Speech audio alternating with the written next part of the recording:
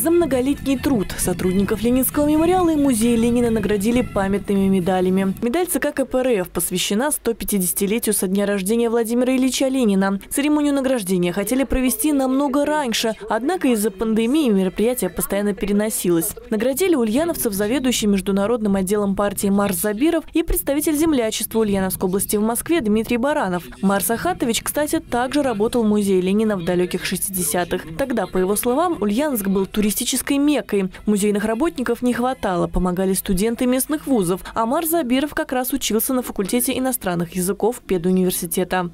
Со старшими товарищами, лекторами мы жили как одна большая дружная семья. И, конечно, они нас учили э, всему, помогали где-то. Даже какой-то э, научной работой занимались по Ленинке. Я вот, например, э, принял активное участие в поиске места, где а, а, родился Владимир Ильич. Музей Владимира Ильича Ленина открылся в 1923 году. Уже больше ста лет сотрудники бережно хранят историю семьи Ульяновых и уникальные экспонаты. Сегодня наградили 37 человек. Среди них научные сотрудники, экскурсоводы, смотрители, реставраторы музея и Ленинского мемориала. Понятно, что такая большая история, почти сто лет, она, конечно, всегда привлекает интерес, внимание. Это мемориальное место, единственное, которое было сохранено с участием семьи Ульяновых и сотрудники, которые здесь работают.